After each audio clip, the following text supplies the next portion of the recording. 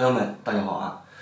谈到微量元素的使用啊啊，我们经常性用到的啊，比如说像铁、锰、锌啊、钙、硼等等啊一些中微量元素使用的比较多。那么这一期啊，我想和咱们朋友们聊一聊啊，我们经常性啊用到的钙以及硼肥。大家可以看看像这种 EDTA 硼，螯合它的硼更有利啊咱们这个作物的啊一个吸收。大家知道啊，咱们作物呢一旦在生长的过程中啊，如果说缺少这个硼元素的话呢，会导致一些这个花而不实的一些情况。第二种呢。就是我手里面拿的这个啊，EDTA 钙就是螯合它的钙元素。这个钙元素呢，主要就是一个状果啊。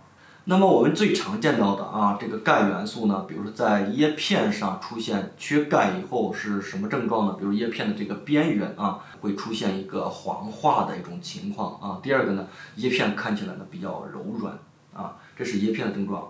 呃，如果是从果实来区分的话呢，就是裂果。包括起腐病，啊这样的一个作用，呃，既然钙啊以及这个硼，那么它的作用啊这么的大，那么我们今天呢来看看这个硼啊和这个钙到底能不能够啊混用到一块儿。好，我们现在呢加入是两百毫升左右的啊一个清水，然后呢我们倒入啊少许的螯合肽硼肥。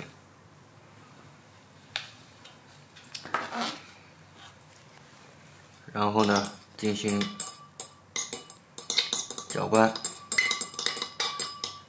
你看现在呢，硼啊已经溶解了。好，我们现在再倒入少许的这个钙啊。然后呢，我们开始充分的啊给它搅匀。经过搅拌啊均匀，那么现在静呢啊静止一分钟以后啊，大家可以看看啊钙螯合它的钙肥啊和螯合它的硼肥已经啊充分的溶解了啊。可见咱们在实际操作的过程中啊，这个钙螯合它的钙肥和螯合它的硼肥啊是可以混用的。